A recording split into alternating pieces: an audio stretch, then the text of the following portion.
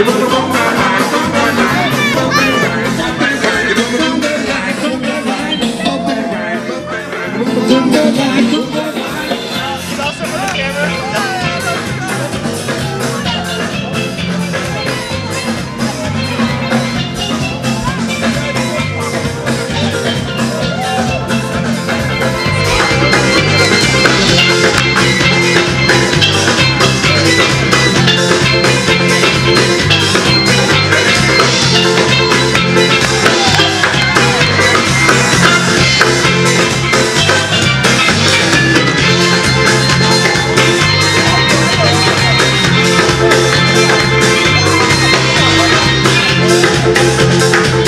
crypto pirates of the block.